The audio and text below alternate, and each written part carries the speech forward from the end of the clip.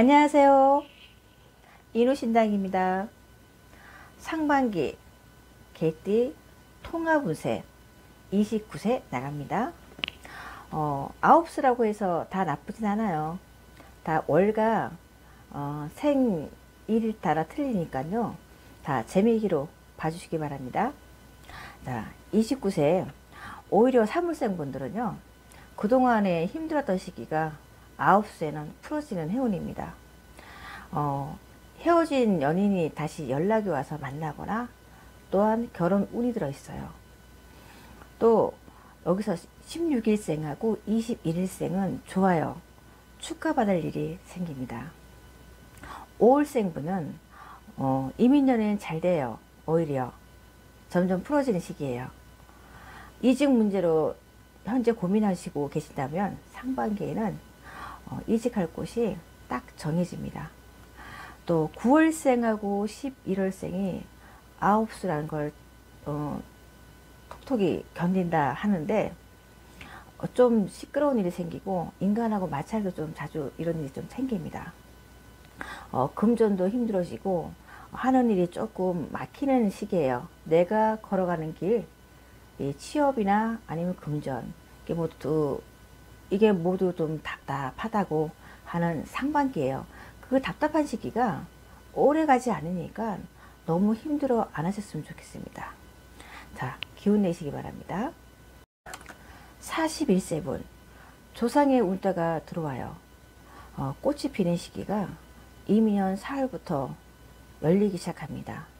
그전에는 힘들고 지친 일들이 이민년에 풀어지고 사업이나 직장문이 열리고요. 여기서 4월, 5월, 9월생 잦은 어, 차 사고수나 다친 일이 종종 있었어요.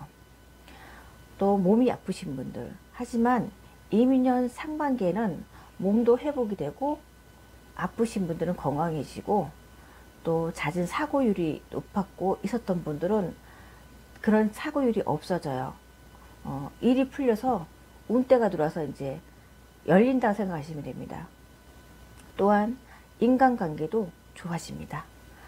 또 어, 시비 다툼도 있었던 분들도 인간관계가 회복이 되고 좋아져요. 어, 여기서 65세 분 인간관계로 말하자면 남편 또는 부인 이별했던 상처가 있으신 분은 오히려 지금이 편안하십니다. 인간의 고력이 조금 많으셨어요. 이분들은.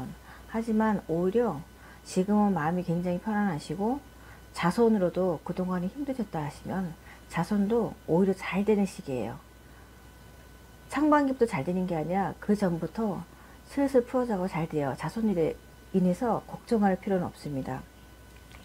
또한 자손으로 인해서 웃을 일도 많이 생긴다 하십니다. 하지만 3월생분은 허리에 통증이 좀 많이 아프세요.